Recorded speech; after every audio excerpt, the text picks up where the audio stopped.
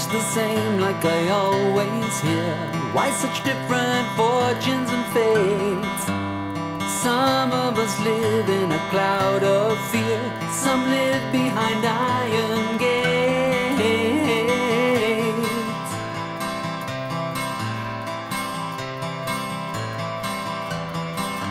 Why such different fortunes and fates? Some are blessed and some are cursed. Iron gates, while others see only the worst.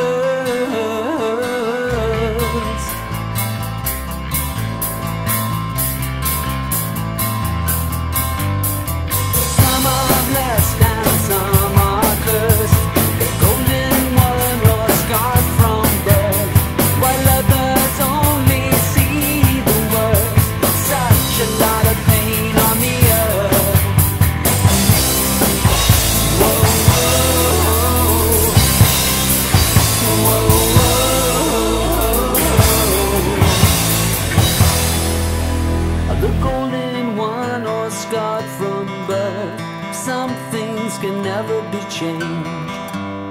Such a lot of pain on this earth. It's somehow so badly arranged.